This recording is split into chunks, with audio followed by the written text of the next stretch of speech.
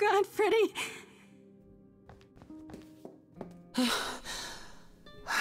By the gods. You summoned the Furies. Oh no. Oh, Grace. You summoned the Furies. What? Those beings were the Furies, beyond all our laws. Not idols, but the embodiment of retribution. How did you draw them here? I didn't. There was a, a big mirror, but I.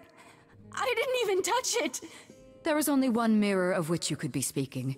That used by the goddess Nyx to contact the Fates. Using the mirror would not have brought the Furies down upon you. Not unless the Fates themselves decreed it. I didn't talk to any fates. There were figures in the mirror, but they vanished when the Furies got there. This was no defense or spell of the reliquaries. I don't care what brought them. They killed Freddie. You need to help her. I have no power over life and death, Grace. None of us have that. This was no defense or spell of the reliquaries. Who are the fates? Who are the Furies? I, I didn't do anything. I didn't touch anything. This was no defense or spell of the reliquaries. I do not have the power to summon the Furies, and I know none who do. You should consider yourself fortunate, Grace. They do not desist until retribution has been exacted. But now is when you leave. Pray the knowledge you obtained was worth the price.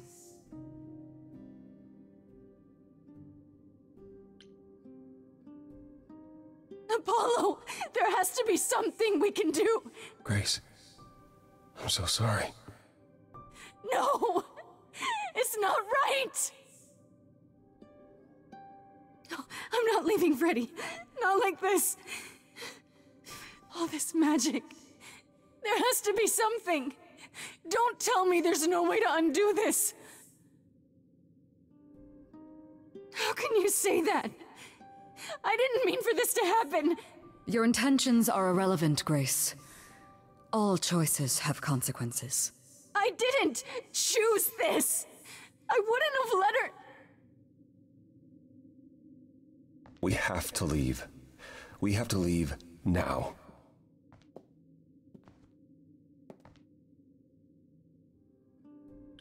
Persephone, we can't just.